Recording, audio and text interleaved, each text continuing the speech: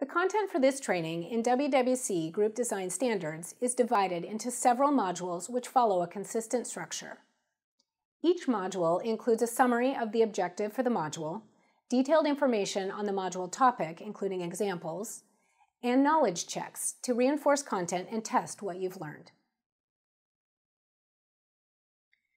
In addition to this introduction, the training consists of five modules that focus on different topics from the WWC standards, as well as three additional modules that focus on WWC review procedures. The modules that focus on the WWC standards are group designs, attrition, baseline equivalence, confounding factors, and outcome measures. The modules that focus on WWC review procedures are systematic reviews, study review guide, and reporting.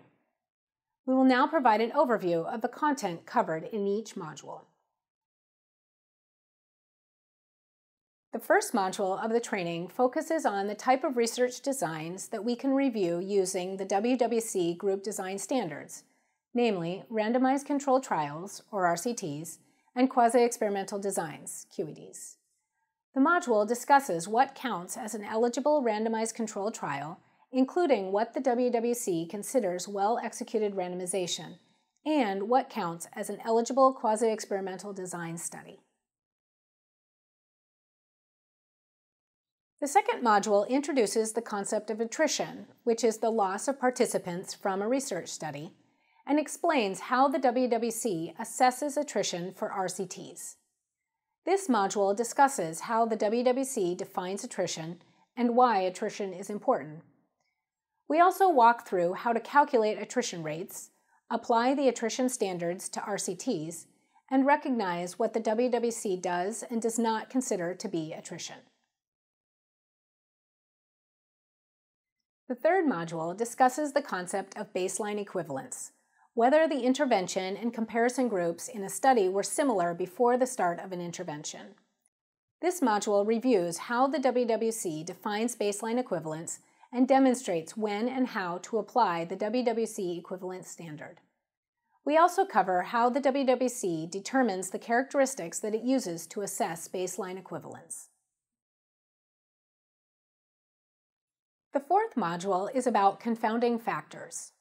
The module reviews the WWC's definition of a confounding factor, which is a study component that makes it difficult or impossible to distinguish the effect of the intervention from the effect of that component. We provide examples of confounding factors and discuss how confounding factors affect the WWC's review of a study. The fifth module discusses the outcome measures a study uses to measure the effectiveness of an intervention and what requirements those measures must meet. This module reviews the WWC's definition of an outcome measure and explains why the WWC evaluates the outcome measures used to demonstrate impacts in studies.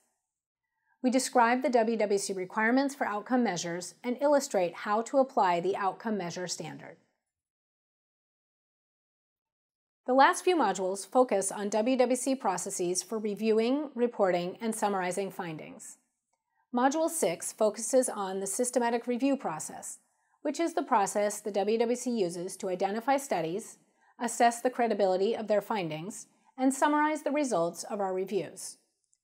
Module 7 walks through the Study Review Guide, which is the primary tool WWC reviewers use to assess studies and document their findings.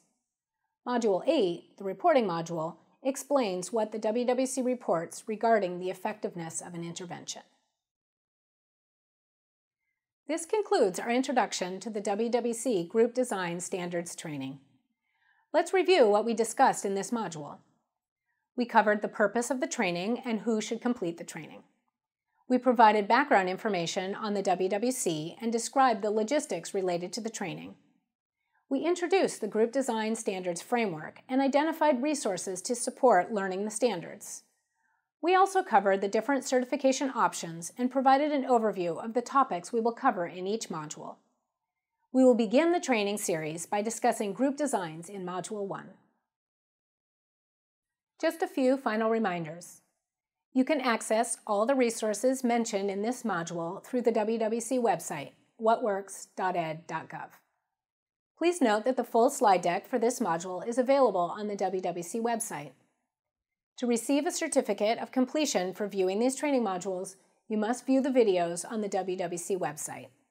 Thank you for viewing the introduction to the What Works Clearinghouse WWC Group Design Standards training.